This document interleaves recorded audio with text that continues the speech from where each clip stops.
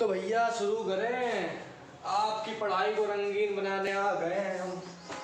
तो देखो, आज हम लोग बात करने वाले हैं डिसीज़न सपोर्ट सिस्टम डीएसएस की।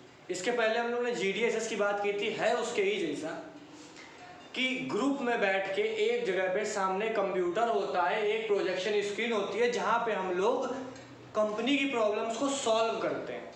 लेकिन इसमें आर्टिफिशियल इंटेलिजेंस और आ गया है। मतलब कंप्यूटर और स्मार्ट हो गया है। हम तो स्मार्ट हैं, कंप्यूटर और ज़्यादा हो गया है। अब कई बार क्या होता है, हमारी परेशानियाँ बहुत बड़ी हो जाती हैं। मान लीजिए मोबाइल में खराबी आ गई तो हम दूसरे मोबाइल से क्या करते हैं, कंप्यूटर सर्च करते हैं। तो आर्टिफिशियल इंटेलिजेंस बता देता है हमको, कंप्यूटर के अंदर जो होता है, या जहाँ भी सर्च किया है कि क्या प्रॉब्लम आई होगी, कैसे कैसे ठीक होगी क्या क्या स्टेप्स होंगे प्रोसीजर्स होंगे, सब समझा देता है। हमको उसके बारे में नॉलेज नहीं था, वो अपने माप से इम्प्लीमेंट करके बता देता है। इसी तरीके से जब किसी कंपनी में कोई प्रॉब्लम अकर होती है, उस प्रॉब्लम को सॉल्व करने के लिए हम लोग एक टीम बनाते हैं एम्प्लॉयज़ की मैनेजर्स की बोर्ड मेंबर्स की, जो पार्टिसिपेट करते हैं एक रूम में जहाँ प्रोजेक्शन होता है, जहाँ पे और हम लोग के सामने कंप्यूटर्स होते हैं। वहीं पे जब प्रॉब्लम सॉल्व की जा रही होती है डिसीज़न सपोर्ट सिस्टम में जो हमारे पास कंप्यूटर होते हैं, वो थोड़े से एडवांस होते हैं। उनमें आर्टिफिशियल इंटेलिजेंस होती है, जो हमारे डाटा को ग्राफिकली दिखाती है। उसके क्या सॉल्यूशंस हो सकते हैं, उनको भी सजेस्ट करती है। या फिर अगर कोई भी कंपनी मेंबर किसी सॉल्यूशन को सजेस्ट करता है तो उसको भी उसी टाइम इम्प्लीमेंट करके दिखा देती है। ये होता है हमारा मेन डिसीज़न सपोर्ट सिस्टम अब हम लोग बात करते हैं कि इसमें होता क्या क्या है मतलब मेन जो इसके कैरेक्टरिस्टिक्स है, इसके टाइप्स हैं, इसके कंपोनेंट्स हैं। तो सबसे पहले हम लोग बात करते हैं इसके कैरेक्टरिस्टिक्स की।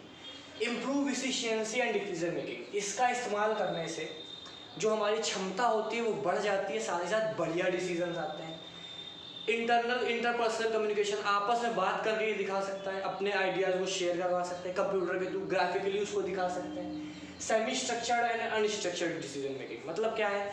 हम जो डिसीज़न मेकिंग करने जा रहे हैं, वो कितने हद तक सक्सेसफुल होगी? इसमें, इस डिसीज़न मेकिंग सिस्टम में आर्टिफिशियल इंटेलिजेंस वो कैलकुलेट करके उसका परसेंटेज भी दिखा देती है साथ साथ उसकी वर्किंग भी दिखा देती है कि जो आप बता रहे हो, अगर उसको इम्प्लीमेंट करें तो कैसा होगा। जैसा आयरन मैन मूवी में जारविस करके दिखाता है सेम वैसा ही। बोल सकते हैं कुछ हद तक, शायद उतना एडवांस नहीं, लेकिन कुछ हद तक वैसा ही। इनकरेज लर्निंग एंड ट्रेनिंग ये हमारी क्षमताओं को भी बढ़ाता है, हमें नई नई चीज़ें सिखाता है और एक तरीके से ट्रेंड भी करता है। दो तरह की डिसीज़न मेकिंग होती है सपोर्ट सिस्टम में। पहला होता है मॉडल बेस्ड दूसरा होता है डाटा बेस्ड अब हमें यहाँ पे दो पॉइंट को समझना पड़ेगा। पहला तो डाटा बेस जहाँ पे हमारा रिकॉर्ड्स रखा हुआ है सारा इंफॉर्मेशन की फॉर्म में। मतलब यूज़र की एंटिटी हमने जो चीज़ बनाई है, उसमें क्या क्या चीज़ें लगी हैं, उन सब की प्रॉपर इंफॉर्मेशन कैटेगरी वाइज हमारी अपडेटेड है। एक होता है मॉडल बेस्ड जहाँ पे इंफॉर्मेशन तो नहीं है उतनी, लेकिन जो स्ट्रक्चर वो है। मान लीजिए मैं एग्जांपल देता हूँ कि एक कार है। उस कार के क्या क्या फीचर्स है, उसमें कैसा इंजन लगा है, कितनी उसकी पावर है, क्या सब है, सारी डिटेलिंग उसका चेचे संभल, फलाना धमाका, वो डाटा बेस में स्टोर है। लेकिन कार का मॉडल उसका देखने में हुलिया, उसका इंजन यहाँ पे फिट है, उसके एक एक पार्ट जो शो कर रहा है, वो मॉडल शो कर रहा है। ये अंतर है दोनों में। तो दो तरह की डिसीज़न मेकिंग होती है, एक मॉडल बेस्ड एक डाटा बेस्ड मॉडल बेस्ड में हम लोग को ग्राफिकली स्ट्रक्चर दिखता है, जिसमें हम लोग प्रॉब्लम को एनालाइज करते हैं और सॉल्व कर देते हैं। दूसरे केस में हमें डाटाबेस में इंफॉर्मेशन दिखती है। अगर हमारी इंफॉर्मेशन में कहीं चूक हो रही होती है या हमने कहीं पे कैलकुलेशन या फिर किसी चीज़ का गलत इस्तेमाल किया होता है तो हम लोग वहाँ से भी उसको फाइंड आउट कर सकते हैं। और आर्टिफिशियल इंटेलिजेंस इतना कैपेबल होता है वो हमको बता दे प्रॉब्लम आते ही कि आखिरकार प्रॉब्लम कहाँ से अगर हो रही है। किसी डाटाबेस से अगर हो रही है या मॉडल से अगर हो रही है? इसीलिए तो डिसीज़न सपोर्ट सिस्टम अच्छा है। उसके बाद में आता है हमारा कंपोनेंट्स क्या क्या होते हैं? अब सबसे आखिरी में हम लोग इसको समझेंगे। इसका हम लोग सबसे कंपोनेंट क्या क्या होते हैं? देखिए, तीन चीज़ होती है। एक डीएसएस डाटाबेस एक डीएसएस सॉफ्टवेयर सिस्टम एक DSS user interface decision support system में यूज़र आया। उसको प्रॉब्लम को सॉल्व करना है। उसने लिया डीएसएस सॉफ्टवेयर सिस्टम का इस्तेमाल। उसने सॉफ्टवेयर के थ्रू उसमें एंटर की ग्राफिकली सब कुछ देखा, उसका मॉडल बनाया और सब समझा। और साथ ही साथ जिसकी इन्फॉर्मेशन सारी निकाली थी, वो उसने किससे निकाली? डिसीज़न सपोर्ट सिस्टम के डाटाबेस से। क्योंकि डाटाबेस में सब कुछ स्टोर है, वहाँ से उसने लिया। ग्राफिकली देखा डाटाबेस से सारी चीज़ें मैच की, अगर कोई प्रॉब्लम आई तो उसको सॉल्व करने के लिए आगे बढ़े। इससे क्या होता है प्रॉब्लम बहुत आसानी सॉल्व होती है। अब है ये इसमें क्या है? हमारा एक मैनेजर है यूज़र जिसको प्रॉब्लम का पता चला। वो यूज़र इंटरफेस पे गया जहाँ से यूज़र नॉलेज मैनेजमेंट सिस्टम से जाता है।